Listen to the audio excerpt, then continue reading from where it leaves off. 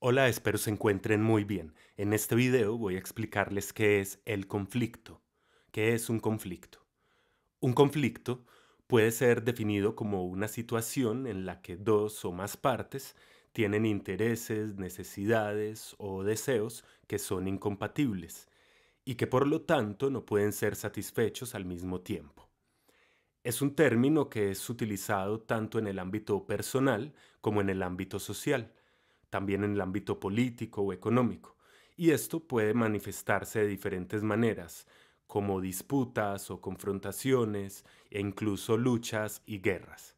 Según diferentes diccionarios de la lengua española, el conflicto es una situación en que dos o más personas, grupos o países luchan entre sí por intereses contrapuestos o para imponerse mutuamente su voluntad. También se define como una situación en la que una o más personas sienten que sus necesidades, deseos o intereses están en oposición a los de otra persona o grupo. El conflicto puede ser causado por una variedad de factores, como diferencias culturales, políticas, religiosas o económicas, y puede tener diferentes grados de intensidad. Puede ser desde un desacuerdo menor entre dos personas hasta una guerra a una gran escala entre naciones. Aunque a menudo se asocia con un resultado negativo, el conflicto también puede ser visto como una oportunidad para el crecimiento y el cambio, especialmente en el ámbito interpersonal y organizacional.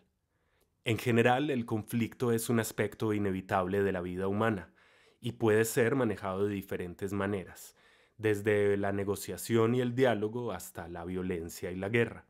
Por lo tanto, es importante aprender a manejar el conflicto de manera efectiva y pacífica para lograr soluciones justas y duraderas.